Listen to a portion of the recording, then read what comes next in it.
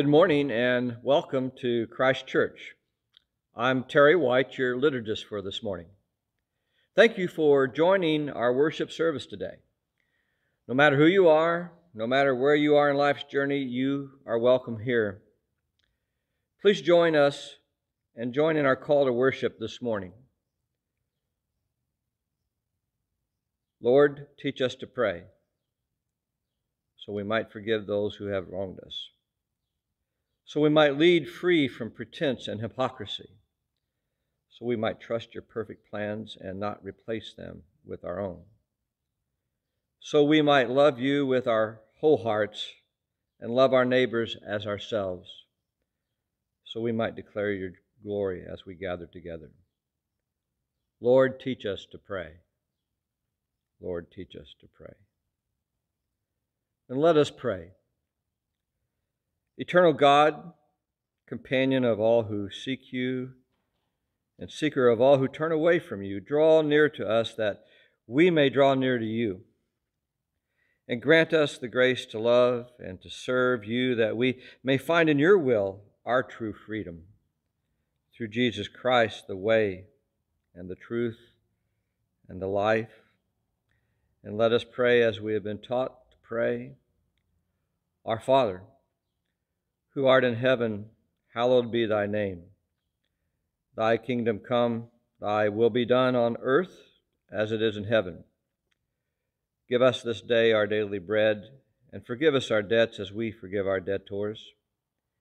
And lead us not into temptation, but deliver us from evil. For thine is the kingdom, and the power, and the glory forever. Amen. And now lift your voices in praise to God with our hymn, Great is Thy Faithfulness. It's number 86 in our hymnal and words on your screen.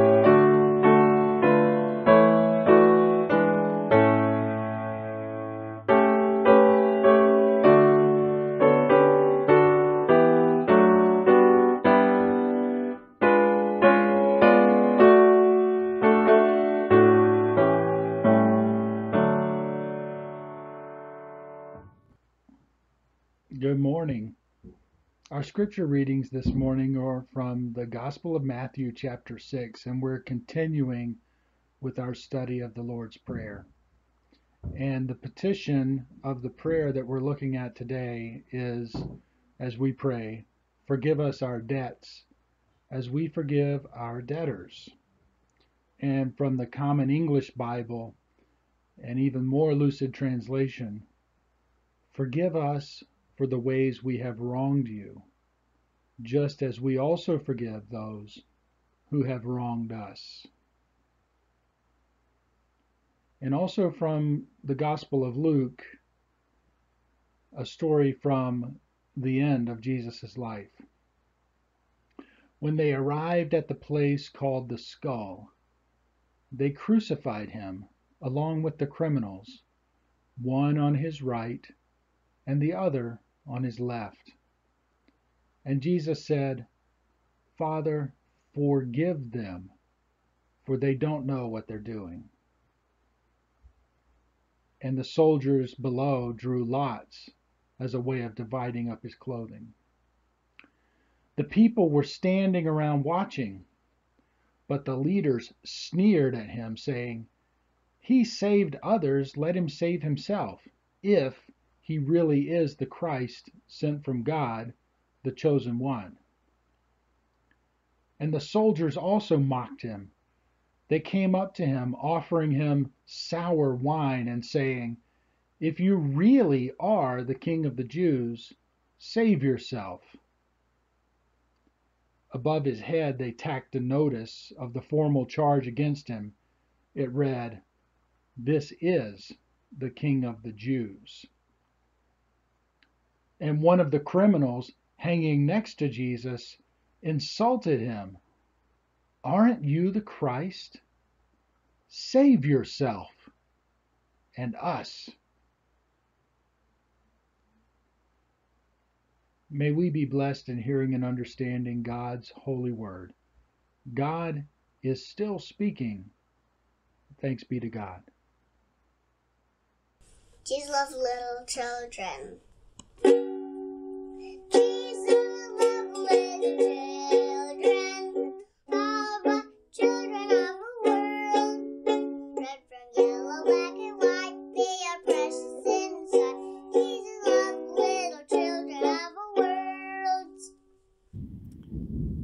Everybody, and welcome to a special children's time this morning. If your children are in the house, I encourage you to gather them around the screen this morning and this time is for all of God's children, so I hope every one of you who are listening to this will come away with a blessing this morning. You know, I have a band aid. What do you do with a band aid? Well, I have to tell you a story about a mistake I did the other day. I was walking our dog late at night, it was dark outside, and I made a really, uh, a, made a really bad mistake, and that was Instead of wearing my good tennis shoes, I wore flip flops. And as I was walking up and down the street and I was about to come back to our house, I tripped on the pavement. And luckily, I didn't fall on the pavement, but I fell just enough and caught myself with my, with my other foot. But I scraped my big toe really badly, and it was hurt and it was dirty and it was it had blood on it. It was really bad a, a really bad mistake I made. So, what did I do? Well, I went home and cleaned up my toe, and then I put the band aid on my toe, right? Because a band aid can cover up our mistakes. And you know how it works, right? You open the band aid, and then you always have these little flippy things that just flip up, and you take those off. And then you take your band aid and you just put it on your boo boo. And I don't really have a boo boo on my finger, it's on my toe. You put it on your boo boo and it covers up that mistake. And that's what I did with my toe. I put a band aid on the end of my toe to cover up that mistake that I made. But you know, sometimes we make mistakes that hurt us. Sometimes we make mistakes that hurt others. And sometimes the worst mistakes we make hurt other people not on the outside, but hurt them on the inside. in their spirit, in their soul, in their heart. And when you hurt somebody like that, you're what you need to do is you need to go to them and first of all tell them you're sorry and apologize. I'm sorry I hurt you. I didn't mean to. I, I love you. And I never want to hurt you. I'm sorry I did. And then you have to ask for their forgiveness. Will you forgive me? And hopefully they will forgive you. You know, to forgive, that's a big word, forgiveness. To forgive means to let go of that hurt and not hold it against somebody and not hurt them back. That's what forgiveness means. And it's so important for all of us. That's the way God wants our world to work that we forgive others when they hurt us and that others forgive us when we hurt them. That's the way God wants us to be.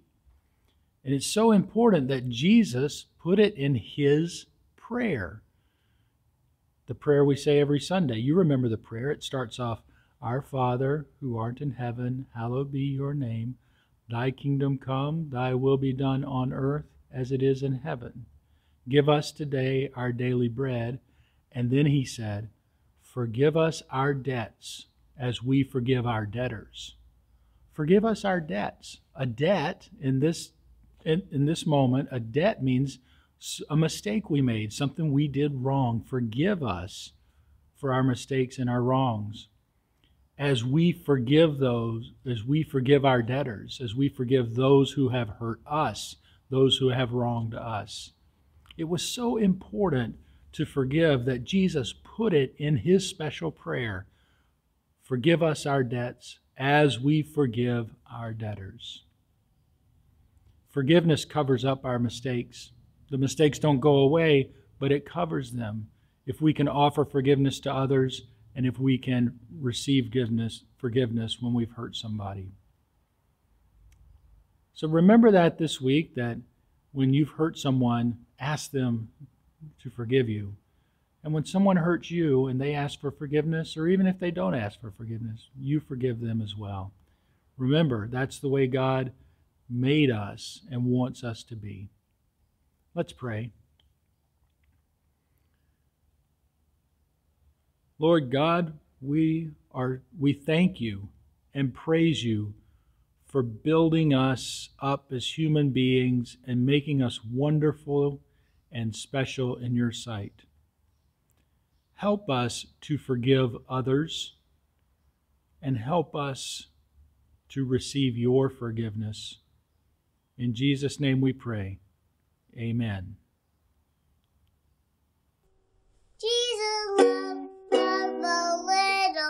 Children of our world.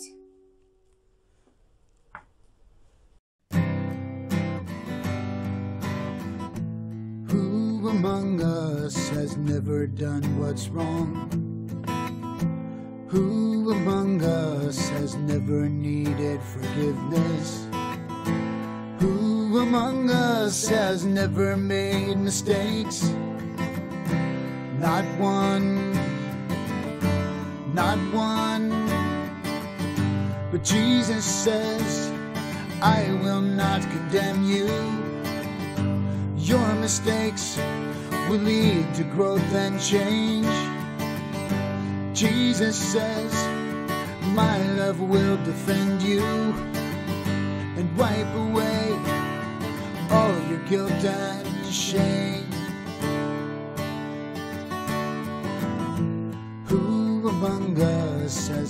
Done what's wrong?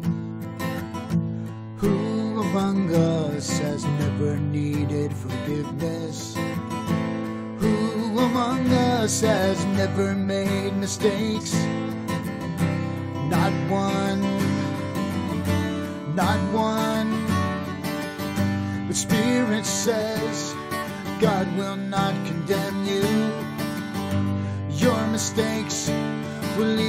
growth and change.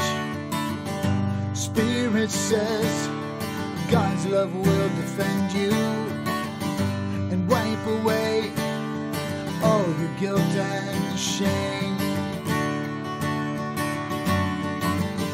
Spirit says God does not condemn us. Our mistakes will lead to growth and change. Spirit says God's love will defend us and wipe away all our guilt and shame.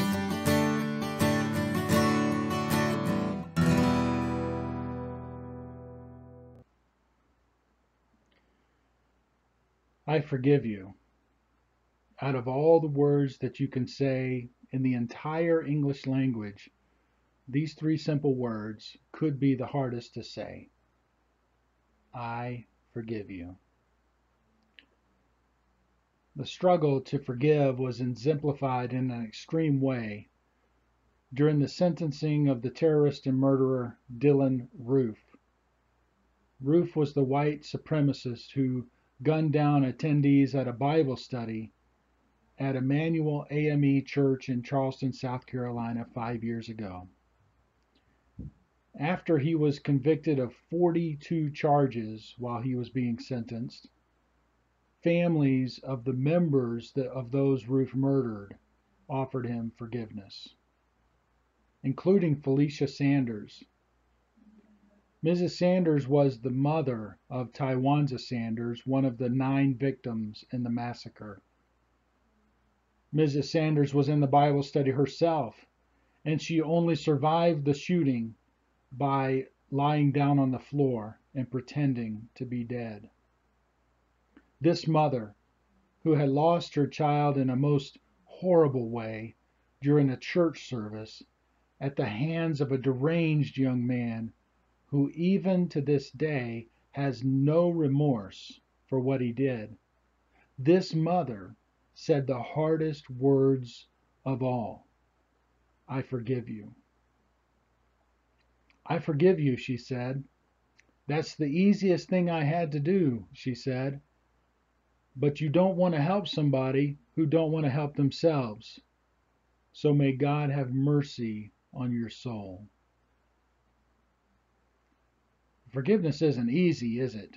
Especially when it really matters. Take, for instance, the daughter of another one of the victims who had harsher words for Roof. Gracyn Doctor had a different message for the murderer of her mother. She said, You will rot in hell for where, where you belong. I hope your guilt eats you alive.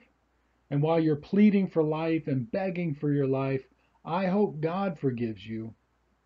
The one sin I'm not sure even God can forgive. This spawn of Satan, she said, will not steal our joy. Here's the crucial question about forgiveness Why should we forgive? Why should we give, forgive the parent who beat us or sexually abused us? Why should we forgive the drunk driver who struck our loved one and killed them? Why should we forgive the coworker who stabbed us in the back? Why should we forgive the spouse who cheated on us? Why should we forgive the child who grew up and threw our values away? Particularly, why should we forgive if they're not even remorseful or sorry about what they did? If there's no repentance, no restitution, it isn't right. Forgiveness is an offense to our universal instinct for fair play. I read about Jesus. I've studied Jesus. I've meditated on Jesus dying on the cross in this most excruciating way.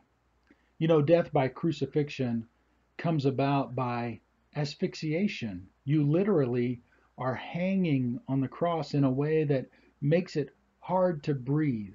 You can't breathe. And you end up suffocating to death. And there's Jesus on the cross. Imagine, imagine the scene that's playing out below him as he hangs barely able to breathe. The soldiers, without a care in the world, They're rolling dice to figure out who gets to keep his clothes. They're playing games with his only worldly possessions. The leaders of his own faith standing under the cross, watching one of their own die at the hands of the occupying Roman state, not in solidarity with a fellow Jew, but mocking him and making fun of him. And see his own people mock him. And when the soldiers saw those mocking him, they joined in fun and made fun of him as well and served him sour wine as a joke to quench his thirst as he died. And in, a, and in an act with dripping and brutal sarcasm, they tack a sign above his head that says, King of the Jews. And they say, Save yourself if you are who you say you are. And given all that, all the mocking and the apathy and the lack of care, all of that, the ridicule, and even his own inability to take a breath, take a deep breath, and keep himself alive, Jesus somehow finds, even without breath, he finds the power to speak. And what does he say? What does he say in his dying breaths? You know the words Father, forgive them. They don't know what they're doing.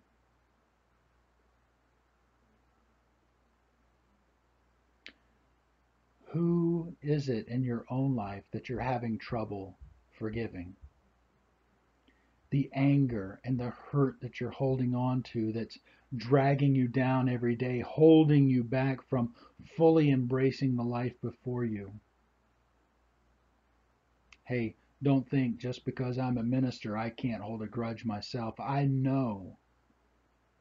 I know deep in my heart the handful of people I never want to be in a room with again.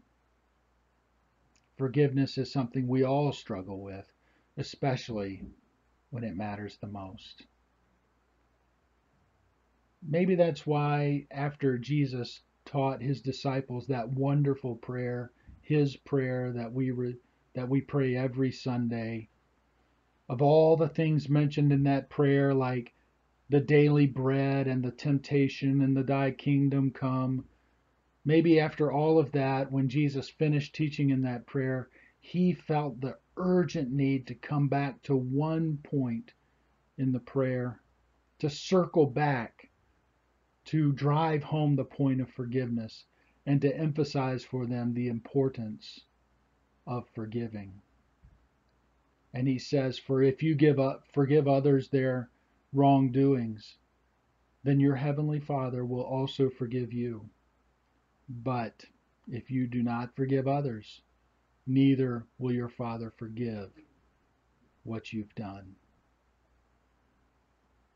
Forgiveness is difficult.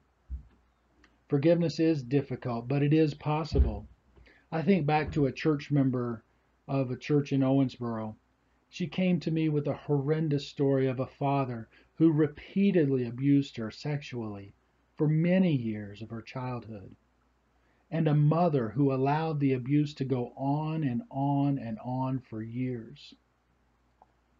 She left home as a young teenager to couch surf at friends' houses Eventually, when she became an adult, she left her hometown and she never looked back.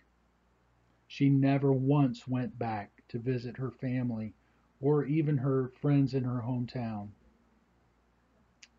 But in her mid 40s, she got word that her father had died, and notice of his death brought her face to face once again with the horror of his abuse that she thought she had safely locked away so many years ago.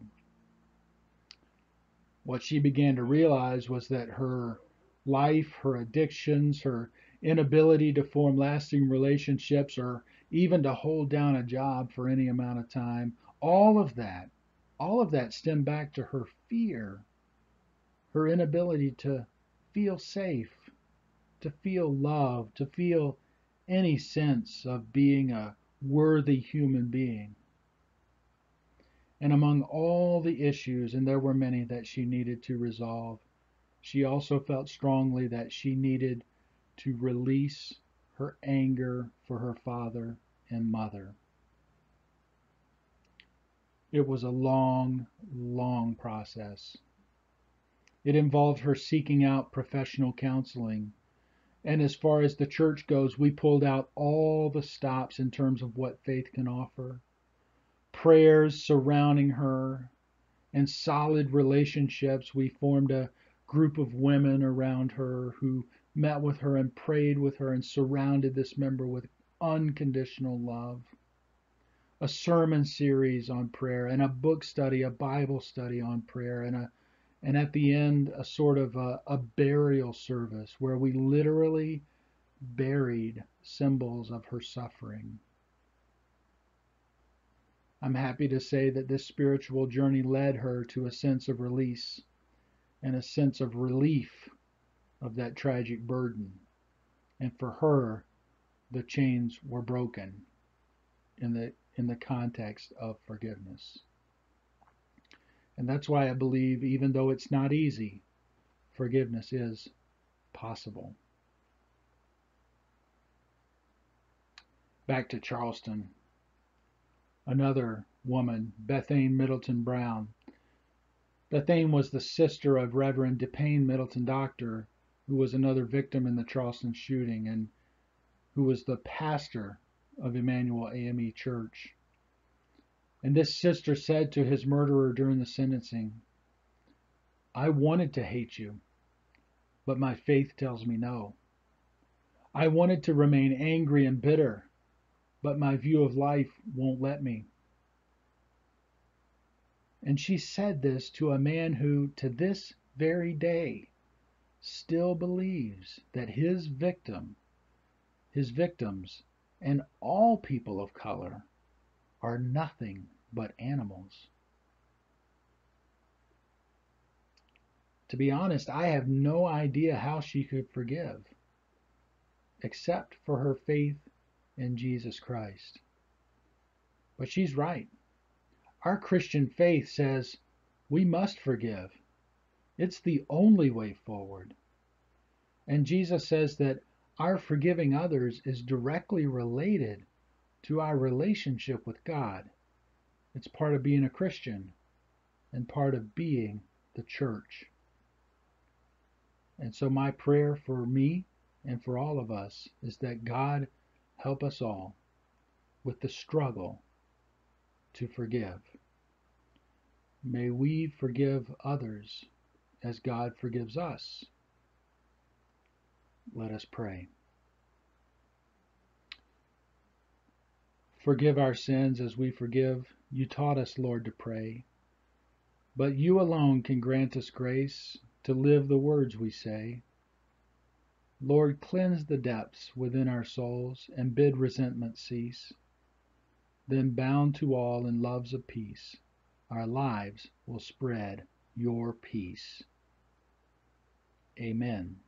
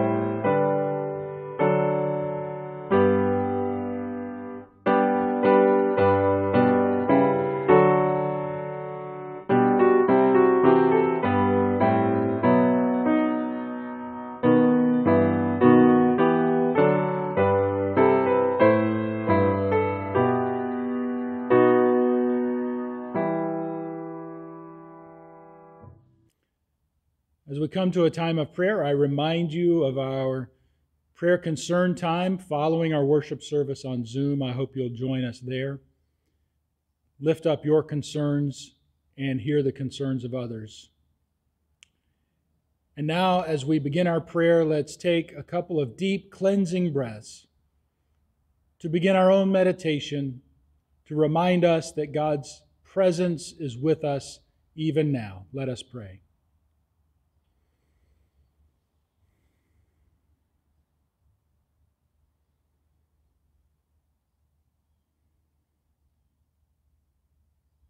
Holy Presence, God in community, creative spirit.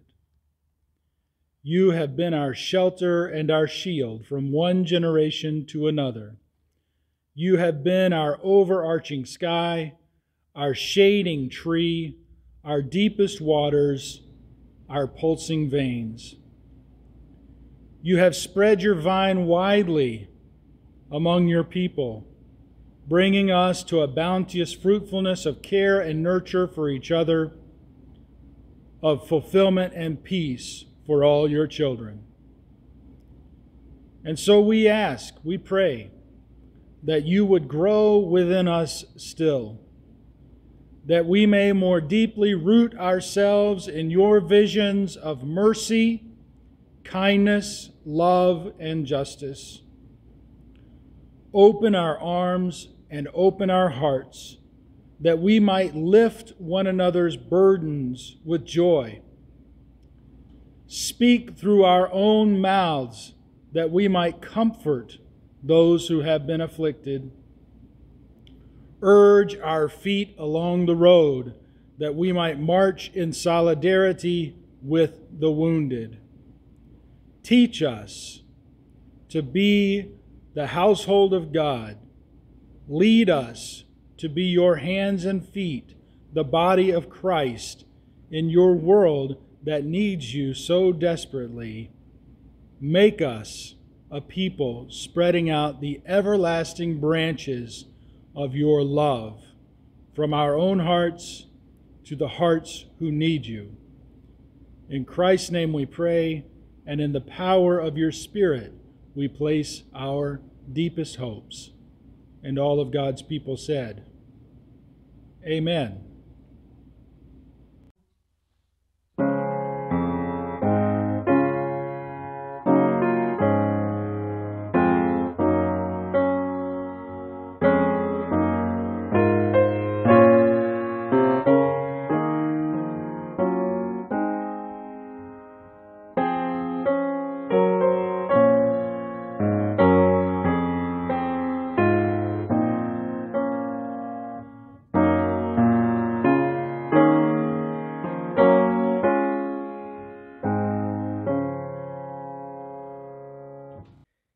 Response to God's still speaking word, let us affirm our faith with the words of Paul from Ephesians chapter 4. There is one hope, one calling to which we are called. The hope, the in, hope our in, our lives is Jesus. The call, the call we must answer is God's.